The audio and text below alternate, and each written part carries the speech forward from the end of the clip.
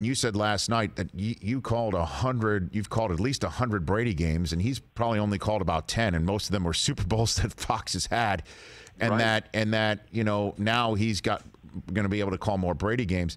I guess you're going to have Mahomes games, right? And the last two MVPs are are, are residing there, and I know you you touched upon this last night uh, that the youth movement at the quarterback spot is what CBS is going to be bringing to the fore over the next couple of years.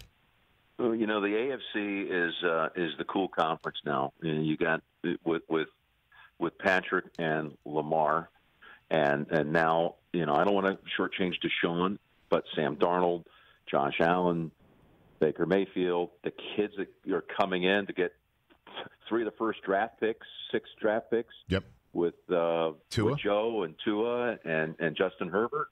Uh, it's uh, it's an exciting time for this conference. Your- conference really, and we're the AFC network.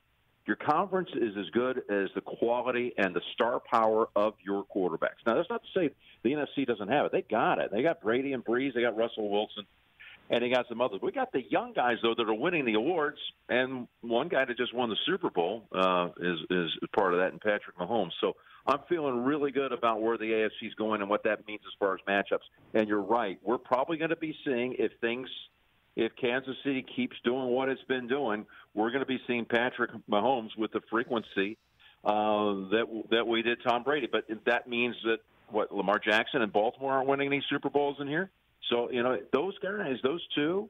Uh, and some of these others I rattled off on the list, they get things going. You know, that's going to be a heavy part of, of what our season is going to be for years to come. Hey Jim, I appreciate the call today uh, and last night. So uh, last night, just I guess to bring this all full circle, should the NFL and Howard Katz and the commissioner take your statement about the Mahomes at Brady game as the official CBS preemptory that that is not to be flexed? Should that should that, is, is that oh, the well, official? first off, we'll protect the game, so Right. there's no chance that we'll lose the game. you know, as, as you know how that works. Uh, we are But should that be- of October the first? We get to protect one game every week. So, Right. Um, barring any injuries, gosh forbid, um, no, that's not that's not one we're letting go of. Hey, you watched all the way to the end. Thanks for that. Watch more right here.